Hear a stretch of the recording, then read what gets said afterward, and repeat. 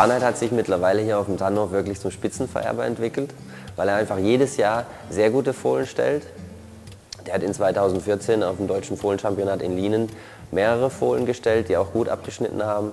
Äh, dann hat er in Pferden, äh, waren mehrere Fohlen auf der Elite-Auktion von ihm. Und er hat in Baden-Württemberg die Landessiegerstute gestellt. Also da ist schon einiges, wovon man erzählen kann. Sportlich hat er uns auch sehr viel Freude bereitet in 2014. Er hat äh, auf S-Niveau debütiert und gewonnen.